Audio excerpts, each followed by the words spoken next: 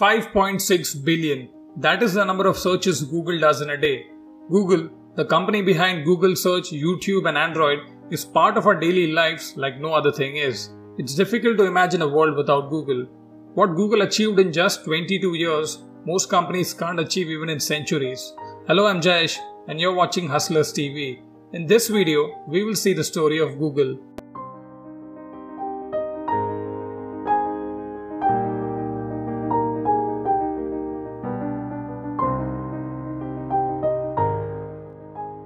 Before we start with the story of Google, let's look into the search engines available back in the day and what shortcomings did those search engines had that made Google to be founded in the first place. In 1990s, when the internet was a new and mysterious place to be, it was also a difficult place to find answers to what you're looking for. This is where companies like Yahoo and Excite came up with their web portal and search engines. Initially, what Yahoo did was it made a compilation of websites and categorized all those websites into different sections so that a user can go into the category which he wants to and access the information, thus making information more streamlined.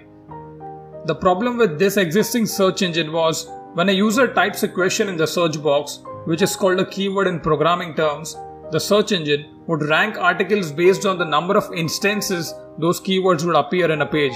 Thus, at times, poor inferior articles which just had the keywords for maximum number of times would rank, leaving the user frustrated and unsatisfied with the answer and forced him to look at more search results for answers. Even though this system was time consuming and painstaking for the user, it was a goldmine for search engine companies because what could have been a simple one article answer for the user turned into browsing several articles, thereby seeing several advertisements in each articles which would generate money for the company. Previous search engines didn't have any algorithm that would rank the articles on the basis of the quality of the content it had. This was the primary reason why Google was founded to help users like you and me to search the web in an easy, less time consuming way and giving users the best answers for the question they are looking for by sorting the best articles at the very top.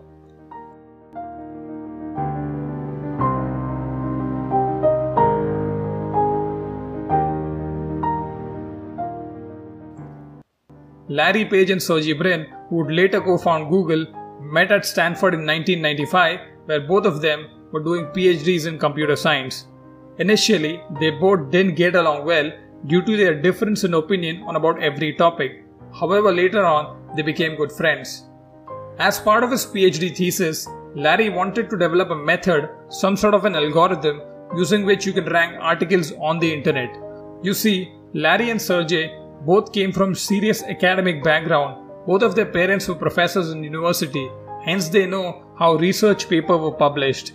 Every research paper has a reference section or citation which basically has names of the articles which were used while doing research to publish the paper.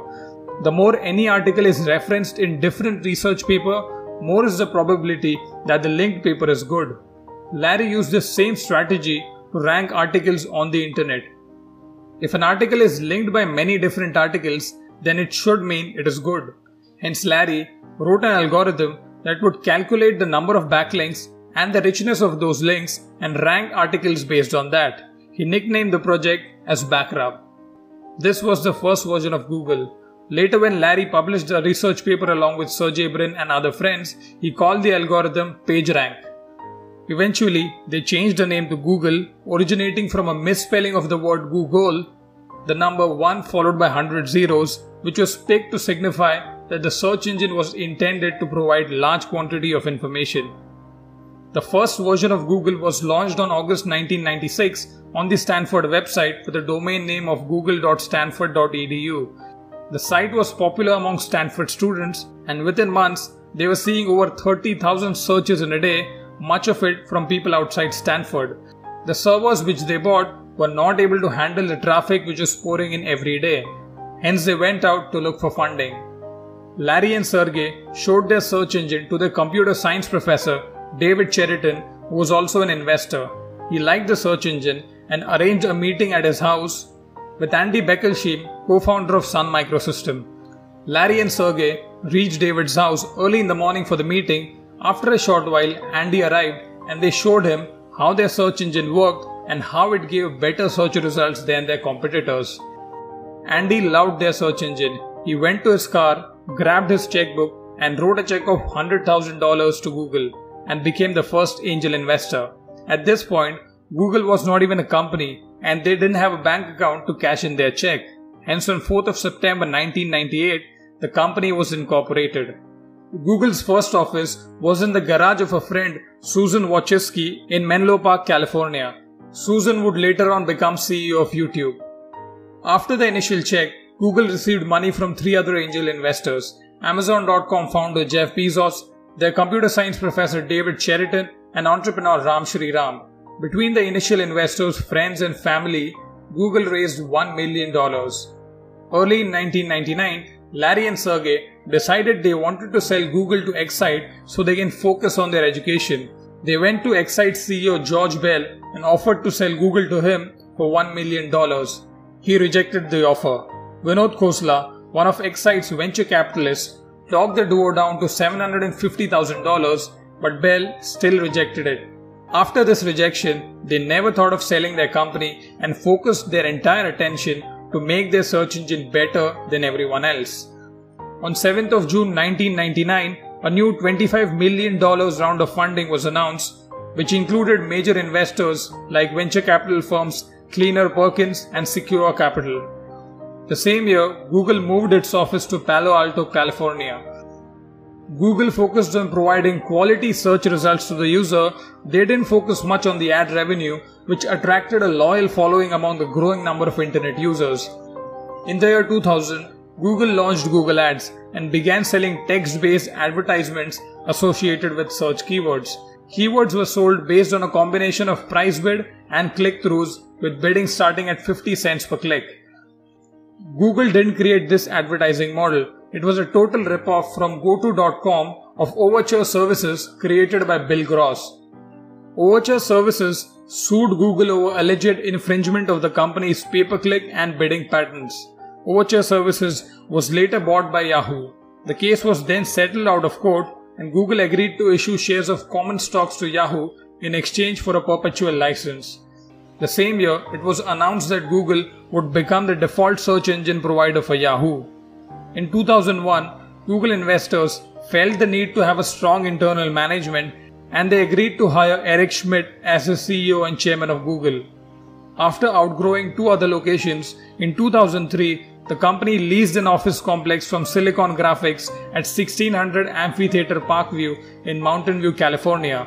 The complex became known as the Googleplex. The same year in February, Google acquired Pyra Labs, owner of Blogger website, which allowed users to write blogs on the internet. The next year in February 2004, Yahoo dropped its partnership with Google, providing an independent search engine of its own. The same year on April Fool's Day, Gmail was launched to compete with Hotmail and other email providers. By 2018, Gmail had 1.5 billion active users worldwide. The same year, Google launched Orkut, their foray into social networking business.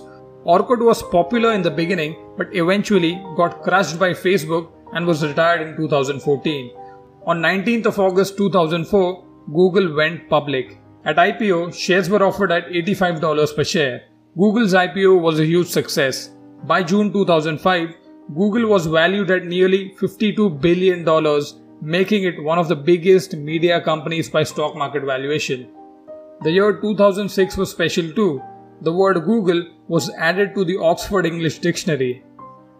After the stunning success of the IPO, Google launched many products and services and became market leaders in several of them. Here's a quick look. On 8th of February 2005, Google launched Google Maps. Over the years, it was updated with features like satellite imagery, Google Street View, 360 degree view, real time traffic conditions, route planning, and more. In 2020, Google Maps was used by over 1 billion people every month. Google sensed that the smartphone industry would be big, and in order to be a dominant player in it, on July 2005, Google acquired Android for around $50 million. The first handset to run on Android operating system was HTC Dream, launched on 23rd of September 2008. As of 2020, around 86% of all mobiles in the market run on Android. In 2006, Google Translate was launched. The same year, Google launched its Google Docs, Google Spreadsheets, and Google Slide services. Each originated from companies Writely, XL2Web, and Tonic, which were acquired by Google.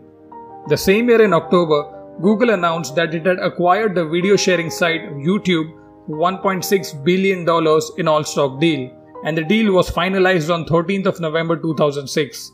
This was another big bet which paid off.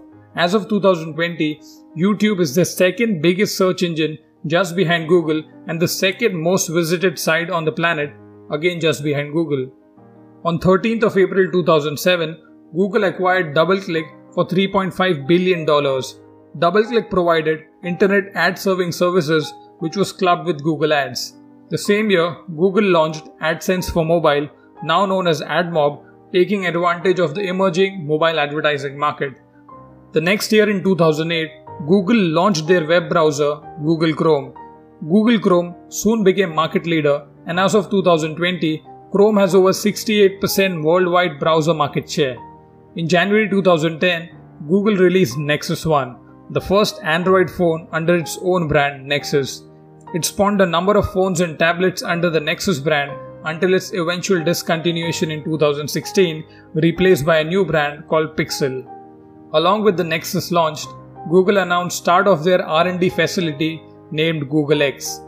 In the years to follow, Google X launched several projects like Project Loon that aims to bring internet access to everyone by creating an internet network of balloons flying through the stratosphere.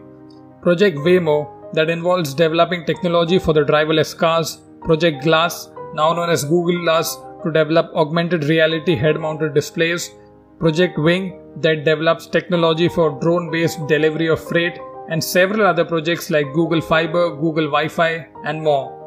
In September 2010, Google acquired UK based artificial intelligence company DeepMind Technologies.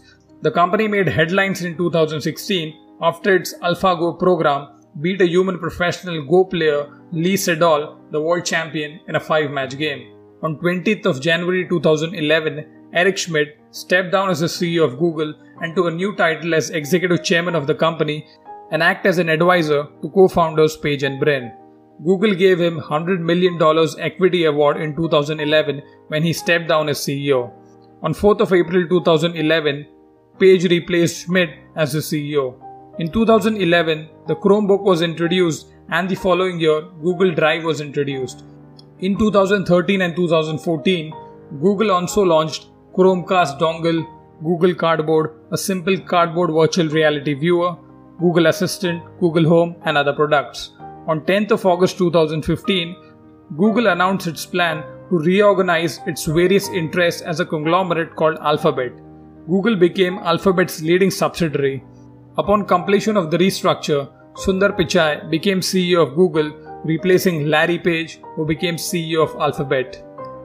In the years to follow, Google announced their new line of smartphones called the Google Pixel to tap into the mobile market. In 2019, Google announced that it would enter the video game market, launching a cloud gaming platform called Stadia. Page and Brin announced their resignation from their executive post at Alphabet in December 2019 with the CEO role to be filled by Sundar Pichai, who will also be the CEO of Google. Page and Brin remain co-founders, employees, board members, and controlling shareholders of Alphabet. On 16th of January 2020, Alphabet became the fourth US company to reach $1 trillion market value, entering the trillion dollar companies club for the first time. Starting from college dorm room to becoming one of the biggest tech companies on the planet, Google's journey is inspiring and fascinating. Here are a few fun facts about Google and its founders to give you an idea of how big Google is. As of 2019, Google has over 1,20,000 employees and has more than 70 offices in over 50 countries. According to Forbes, Larry Page is the 13th richest person in the world with net worth of $67 billion and Sergey Brin is the 14th most richest person in the world with a net worth of $65 billion. Going forward in the future, it is safe to say that we can expect more groundbreaking work from Google.